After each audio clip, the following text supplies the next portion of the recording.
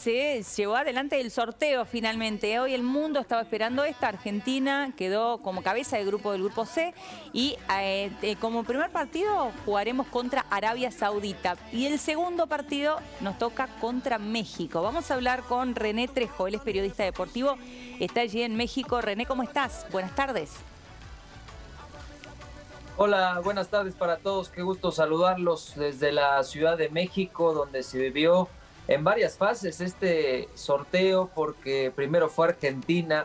La verdad es que hubo mucho pesimismo cuando se vio que era Argentina el rival de la selección mexicana. Ya nos ha tocado enfrentarlos en tres ocasiones en mundiales y han sido descalabros han sido a veces buenos partidos. En el 2006 con la selección de La Volpe, me parece que fue un partido bastante bueno de la selección mexicana, pero finalmente Argentina se ha vuelto una especie de némesis para la selección mexicana de fútbol en fases eliminatorias.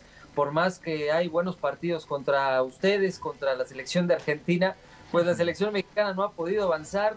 Hoy hay una ventaja y es que el Tata Martino está como director técnico de la selección nacional mexicana, conoce muy bien Argentina. te adelantaste, te adelantaste, René, a lo que te iba a preguntar, ¿no? tener un, técnico argentino, digo, ¿sienten que les da algún tipo de ventaja? Claro que sí, claro que sí, porque el Tata es de todas las experiencias, el Tata tiene un currículum impresionante y, me parece que sabe de, partidos eliminatorios, de partidos de alta intensidad.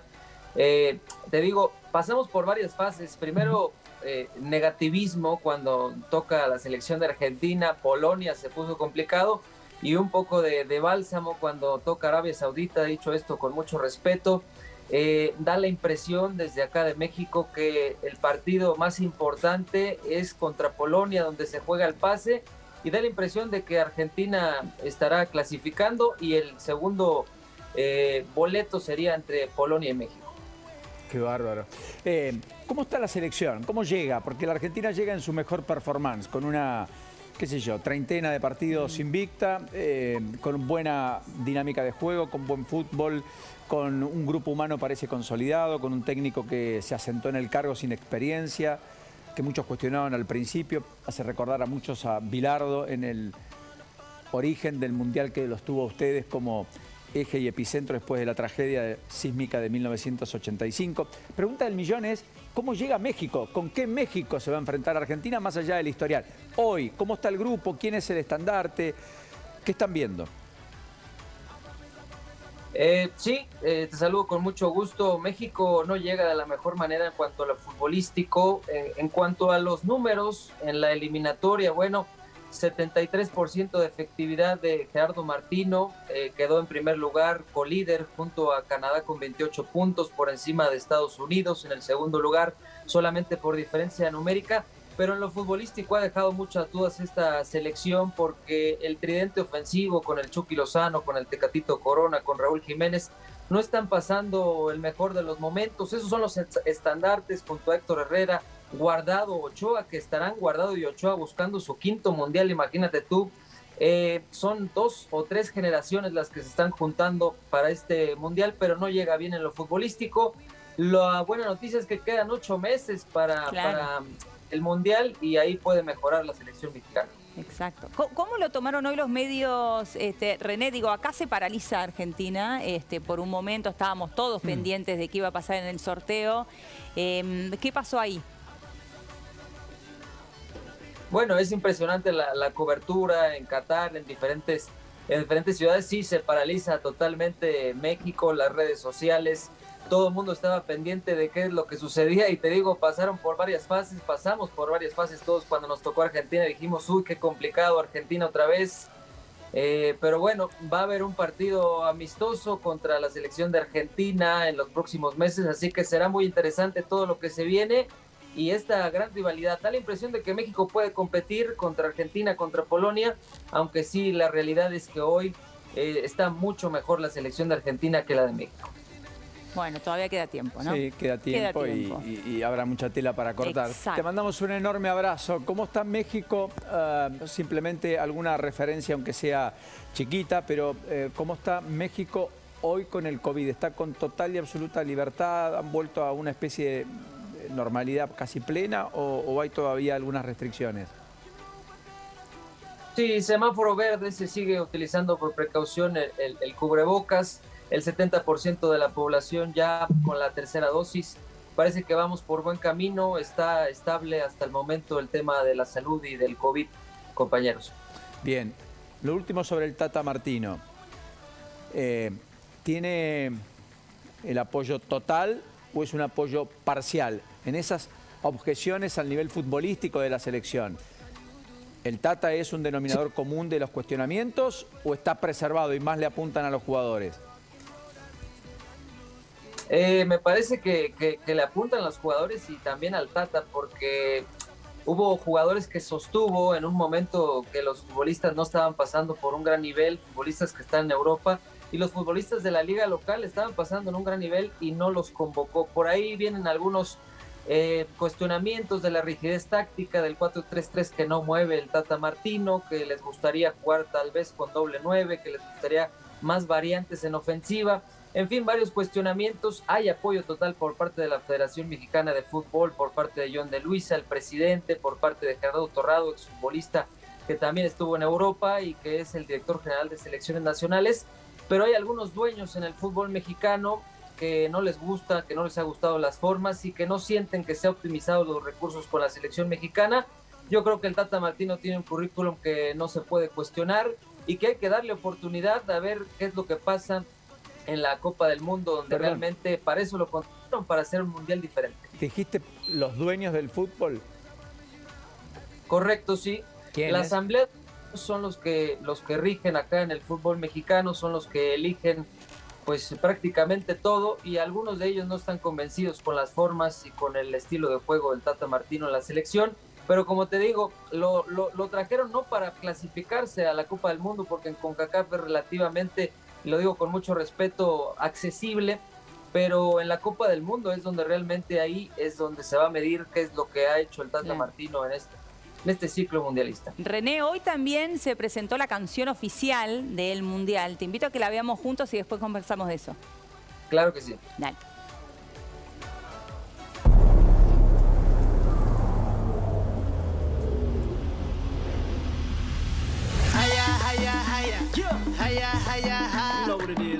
on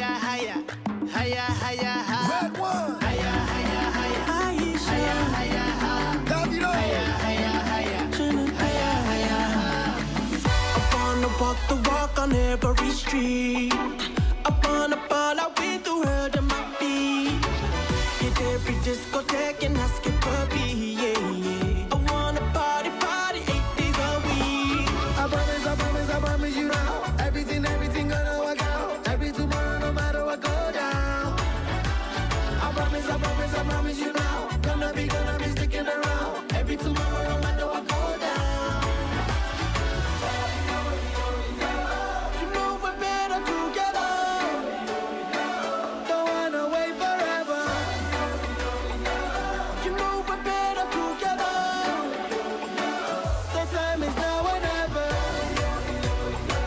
es un signo de nuestro tiempo, digamos, la, música está... Yo tengo, qué sé yo, corazoncito en lo que fue el Mundial Italia 90, ¿no? Creo que es un clásico. difícil sacar ese tema, ¿no? ¿Qué querés que te diga? es cierto, es cierto, fue muy, muy fuerte. Es la canción. Pero es pegadiza, mejor, mejor juntos, ¿no? Y, de, este tiempo, sí. Exacto. Y ahí, René, no sé si veías al comienzo de esta canción, aparece Diego Armando Maradona, a quien también se le hizo un homenaje hoy, antes del sorteo. Vemos eso y, nos contás de cómo se lo ve a Maradona allí en México. Ahí va. No estarán en la Copa del Mundo. Y mira con quién arranca.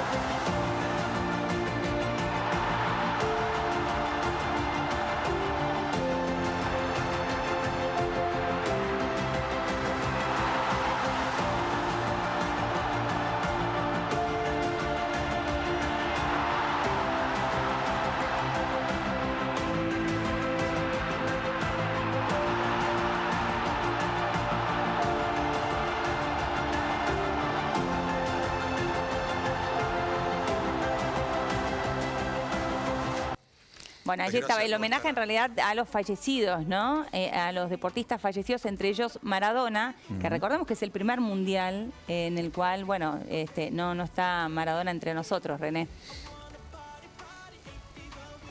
Sí, claro. Eh, te decía, Maradona se le adora en México, por supuesto, por, por lo que hizo en el Mundial de 86 y sobre todo también por la última imagen que dejó en los Dorados de Sinaloa, un equipo de expansión de la segunda división que prácticamente estaba en el último lugar y cuando Maradona llegó lo llevó a los primeros sitios, llegó a dos finales y hay grandes historias detrás de todo esto. Eh, en el estadio hay una gran imagen, en el estadio de los Dorados de Sinaloa de, Maradona y hay grandes historias de la sencillez, de la humildad, de cómo contagió, de cómo hizo que, la afición de los Dorados regresara al estadio después de que había padecido mucho. Eh, hay una gran imagen, se le adora en México sin lugar a dudas a Maradona, como en todo el mundo. Me imagino que el que le gusta el fútbol tiene que adorar a Maradona. ¿eh? Definitivamente. René, te mandamos un enorme abrazo. Gracias por esta deferencia para con nosotros en este ratito. Hasta la próxima. Hasta la próxima, saludos. Bueno, ahí estaba la presentación de lo que es uno de los grandes temas del día. Bienvenido, Javier Lanari. ¿Cómo, va, Paulino? Ya estoy anotando las fechas, los horarios, todo. Todo. Estamos alistándonos. ¿Nos toca? Sí, nos toca. Ah. Nos vamos a tener que turnar, me parece. ¿eh? Porque nos toca por partida doble. Tenemos pantalla. ¿Cuál, el 22 de noviembre o el 26? Sí, es, ya te digo. Hay uno que toca a las 4 de la tarde. Dos fechas a las 4 me dijiste. El martes 22 de noviembre, debut a las 4 de la tarde. Cumpleaños del querido Ariel Carnevale, mi amigo. Ahí está, mira, ahí está. Contra Arabia Saudita a las 4 de la tarde, tomen nota. Mm. Porque acá alguien se va a tener que hacer cargo. Y el sábado después a las 10 de la mañana y el miércoles a las 4 de la tarde con Polonia, con el equipo de Lewandowski. el 9. Lewandowski. Bueno, buen sorteo para Argentina, ¿no? Sí, sí, sí, sí, pero hoy Paulino nos puso paños fríos. No, porque puso paños fríos. No, porque digo, viste, que, qué sé yo, el Oman Villic, el, el Camerún del 90. Claro, que fue una sorpresa, digamos. claro, venías de ser campeón, dijiste, bueno, te toca Camerún, la zona era bastante... Terminamos así, ¿no? Raspando. Eh, sí, Ni hablar del 2002. No nos agrandemos, dice. Sí. Claro, qué sí, total, después Con humildad. Bueno, pero mientras tanto. Bueno, ¿de qué hablamos, Javi, en un ratito? Bueno, Paulino, te voy a mostrar varias cosas. En primer lugar,